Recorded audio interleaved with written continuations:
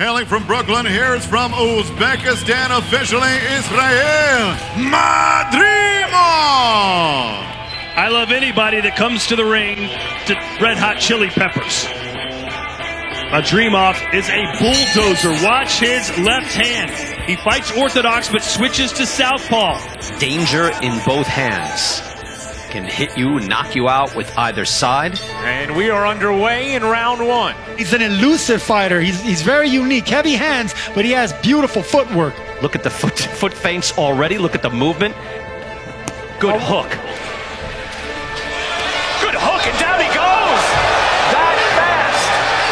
Madrimov did that off a left hook, fighting right-handed. Let's see what he does now. He is shifting his weight, moving his feet, dancing. I mean, this is a man that when he's not boxing, he's a gymnast. He practices judo.